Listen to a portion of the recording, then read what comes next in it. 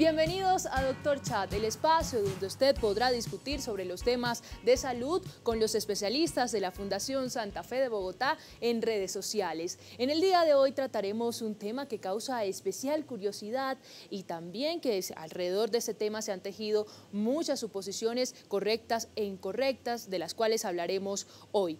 El tema es los mitos y realidades sobre la vida sexual masculina.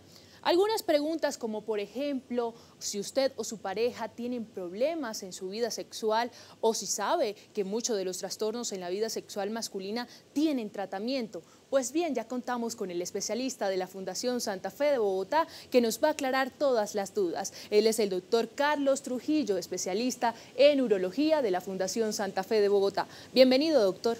Muy buenos días, María José. Bien, saludamos a todas las personas que nos siguen a través de las redes sociales. Recuerden que estamos en Twitter como arroba FSFB-salud y también nos encuentra en Facebook como Fundación Santa Fe de Bogotá. Ahí estamos dispuestos a responder todas sus inquietudes en temas de salud y en especial en este tema sobre mitos y realidades en la vida sexual masculina. Para dar inicio, doctor, cuáles son los trastornos más frecuentes en la vida sexual masculina y cómo se pueden tratar. Hablaríamos en particular de cuatro trastornos. El primero, que es el más frecuente, es la disfunción eréctil o impotencia, que es la dificultad para alcanzar o mantener una erección que sea suficiente para penetrar y para tener una vida sexual satisfactoria. El segundo es la eyaculación prematura, entendida como aquella eyaculación que se da antes de la penetración o en el primer minuto después de la misma. La tercera, la eyaculación retardada o aquella eyaculación que se da luego de 20 a 30 minutos después de la penetración. Y por último, la ausencia de eyaculación, que podría ser una eyaculación retrógrada, es decir, que el semen se regrese a la vejiga o la verdadera ausencia de eyaculación. Bien, y aclarado esos cuatro trastornos que se presentan con frecuencia para los hombres en este ámbito sexual, ¿cuáles son las causas especialmente, doctor Trujillo?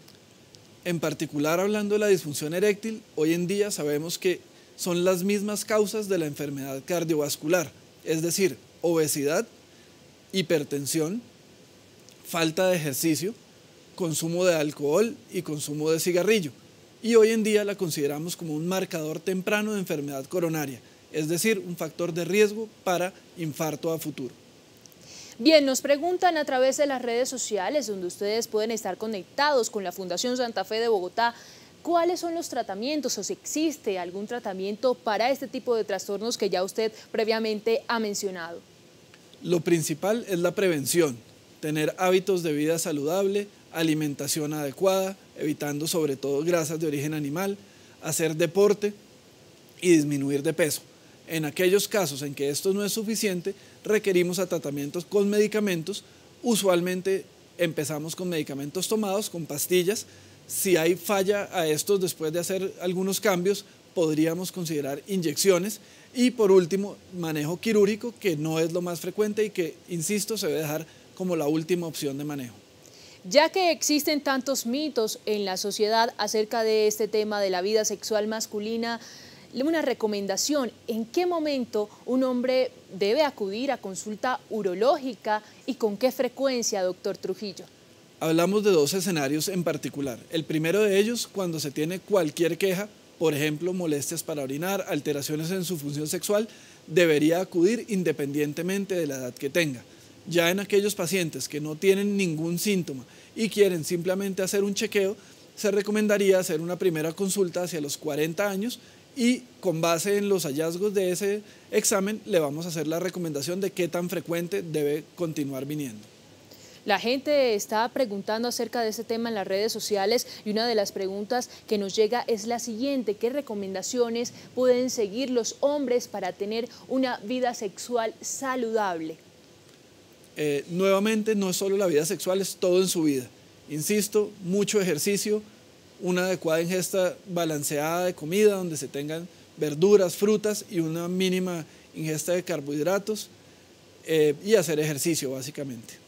Ahora sí, el papel de la Fundación Santa Fe de Bogotá ofrece algún tratamiento de, a pacientes con problemas sexuales. La Fundación Santa Fe de Bogotá y en particular el Departamento de Urología, por intermedio de las clínicas urológicas, tiene un grupo selecto de especialistas, todos de ellos disponibles para atender áreas especiales de la urología y la disfunción sexual no es la excepción. Tenemos una consulta especializada para pacientes con estas quejas. Muy bien, doctor Carlos Trujillo. Últimas recomendaciones acerca de estos mitos y realidades que se viven alrededor del tema de la vida sexual masculina. Mi última recomendación es que ante cualquier alteración o cualquier variación que vea en su vida sexual, haga una consulta a un urólogo.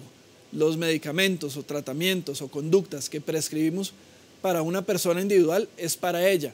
Entonces no deben recibir recomendaciones ni de sus vecinos ni de sus parientes, siempre acudan a un especialista quien los va a guiar en el manejo adecuado.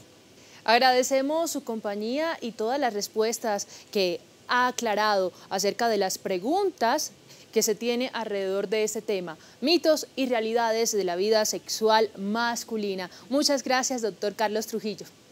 A ustedes, María José.